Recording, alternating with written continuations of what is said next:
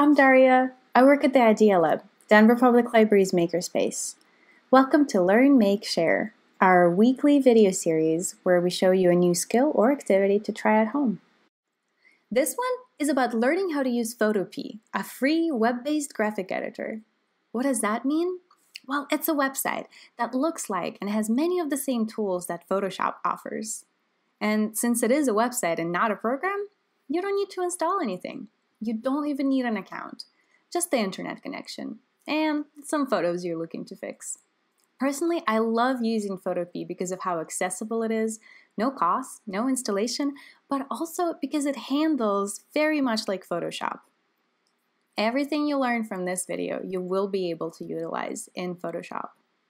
We'll start with the basics, the interface, or in other words, what Photopea looks like, what the different areas of the screen are, and where all the commands live. And then in part two, we'll learn and practice some common things that people usually want to know when it comes to editing their pics, like correcting the photos that are too dark or too light, adjusting the colors, and fixing skin blemishes. But before we get started, here's a couple of things to take note of. First, Photopea works best on a computer rather than a phone or a tablet. The website is still available, but it was really built for a desk or a laptop computer, so using it on a mobile device is difficult. I do know how to use lots of cool photo editing apps, so leave me a comment if you would like a video that covers that. Next, we all learn at our own pace, right? I know when I follow online tutorials, it feels like I pause them every 10 seconds and switch back and forth. So please feel free to pause the video when you need to and replay any of the parts you want to revisit. In case you didn't already know this, you can just press the spacebar on your keyboard to pause a YouTube video. Thirdly, I encourage you as much as you can to work on the photos that you have wanted to or been meaning to fix. That way, you'll walk away doubly accomplished. But if you don't have any handy right now and you just want to start learning, I got you. In the description, there is a link to a pack of practice photos that I put together just for this, along with a handout that summarizes the key points of this video. So make sure you download that before you get started. To follow along with this video, you need first an internet connection. Remember, Photopea is a website so you can only use it if you're connected to the web. This does also mean that it will not automatically save your work, so if the page crashes, your progress may be lost. But more on that in just a moment. Second, a desk or laptop computer. And lastly, the touchpad on your laptop is okay, but I recommend that you use a mouse. So let's finally meet Photopea. Open up your favorite internet browser and in the address bar, type in photopea.com and there she is. Here is what Photoshop interface looks like these days. And the two are almost identical. It's pretty neat, right? Now, before I tell you what all the buttons and levers do, let's talk for just a moment about what makes graphic editors like these unique what works so well in them, and basically what all the hype is about. The thing that really makes them stand out is called non destructive editing, or in other words, layers. And it really is kind of what it sounds like. It means that you can build your image up in layers, kind of like those clear acetate sheets in those overhead projectors you might have had in school. You can have an image at the bottom of the stack and the layers with your modifications on top. And just like those clear acetate sheets, they can be pulled out, they can be put in a different order, they can be drawn on top of. Now I'm going to quickly show you how this works in Photopea on this little drawing that I made. Let's say I've been working on this for a little while, and I've been drawing everything on the same layer. Sometime later, I decided to change how the veins look on this leaf. Working on the same layer means that I have to paint them over and then draw them again just how I want them.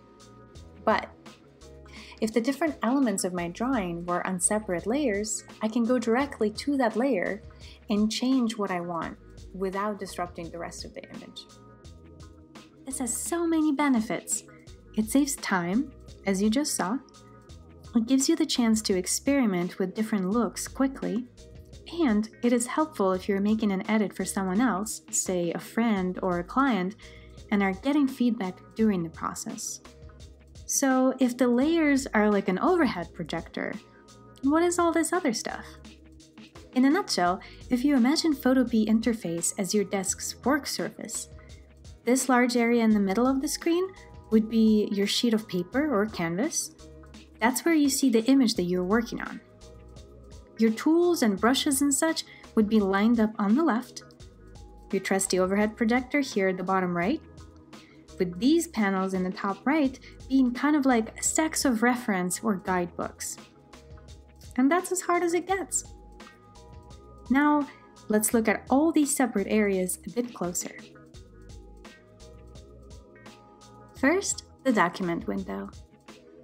When you open an existing image or start a new file from scratch, the document window will display its name in the top left. If you have more than one file to open at the same time, say if you're copying a section of one picture and putting it into another, you will have tabs, and they will go in the order that you open them in. To switch between them, just click on the name of the file at the top. Now, the toolbar. This area contains all the tools that you will be using directly with the mouse, so your equivalents of paintbrushes, scissors, sponges, etc. They are organized in a couple of different ways. First, they live in groups based on what they do. This grouping on top are selection tools. In the middle are the painting tools. Underneath, you will find drawing and type tools, and the bottom section is home to navigation tools. Selection tools give you a ton of different ways to select just the part of the picture you want to work on, if that's what your project requires. Painting tools are more than just paintbrushes. They hold powerful retouching options from correcting lighting in small, specified areas to erasing unwanted objects. Later, we will look at one of them more closely. Drawing and type tools would be where you add text and work with vector graphics. But that is a story for another day. Navigation tools let you zoom around the picture. Sometimes you need to come in real close or scroll to a different part of it altogether. Use the magnifying glass icon to zoom in and out, and the hand icon to grab and move to a different part. The tools are also organized in stacks, when two or more similar tools live under the same icon to save space. Notice how some of them have a tiny arrow in the bottom right corner? This means that there are more tools hidden within the stacks that will be revealed when you click and hold with a mouse. Your cursor, or mouse pointer, changes depending on which tool you selected. For example, a brush pointer will look like a circle, and crop like crosshairs. You know how when you're working on a text document, in Microsoft Word or on the internet, pressing Ctrl and C at the same time copies the text that's selected, and Ctrl V puts it where the cursor is blinking? This kind of thing with different keys works for many, many operations you will commonly use in Photopea. The majority of all tools and commands, no exaggeration, have a keyboard shortcut associated with it.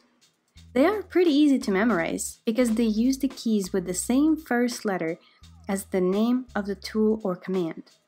For instance, B for brush or E for eraser. I included a good beginner list of them in the handout, but Photopea also has built-in guide that you can refer to anytime.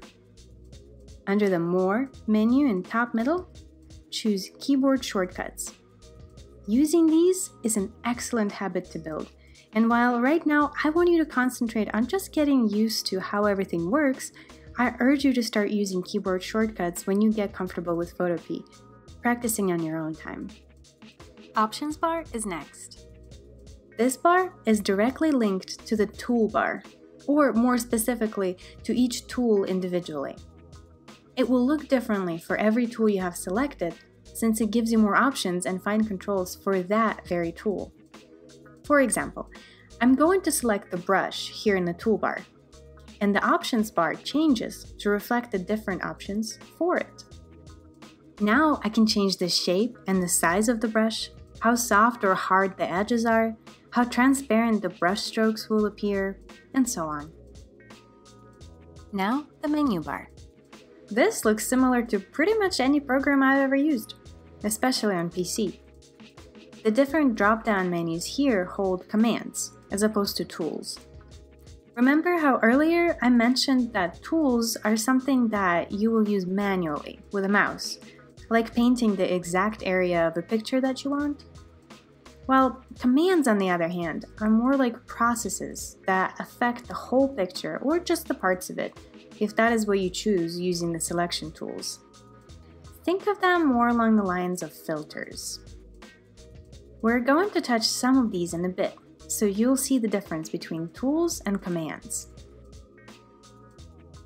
Oftentimes, editing requires coming back to the same group of tools repeatedly, and the people who developed Photopea organized such commonly used elements into panels.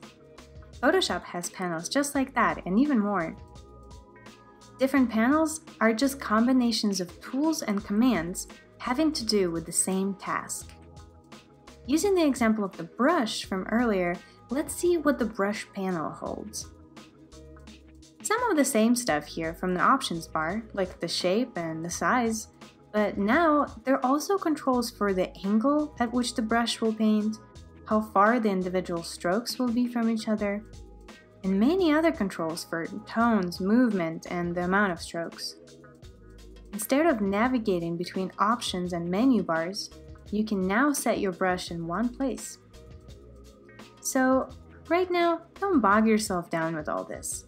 Just remember that as you explore photo editing and manipulation more, the more precise controls that will give you cooler effects will live here in the panels. The brush panel was just one example. A full list of them is under Window in the menu bar, including text, color picker, and many others. And the most important one of them, you already know. It's layers. One last note here would be that unlike a program that is installed on your computer, Photopea being a website does not save your work as you go along. And it is a known fact that the internet is not the most stable force in the universe. Occasionally, pages freeze and crash, and in that case, your work may be lost. This is not inherently a bad thing, just a con to weigh against the pros of how accessible and easy to use Photopea is. Get into the habit of periodically saving the work by going to File and then Save as PSD. This will download a project file directly to your computer, and it will be in Photoshop format, .psd, so you will need Photopea or Photoshop to open and edit it. The difference between doing this and saving it as a JPEG would be that PSD saves all your layers, and JPEG basically flattens it, creating one solid image where everything is on the same layer. Each next version you save will have numbers attached to the end of its name 1, 2, and so on. Once you are completely done editing something, save it one last time, and now all the previous versions can be erased. And just like that, you now know Photopea interface, what the different areas of the screen are responsible for. Nice work sticking it out this far.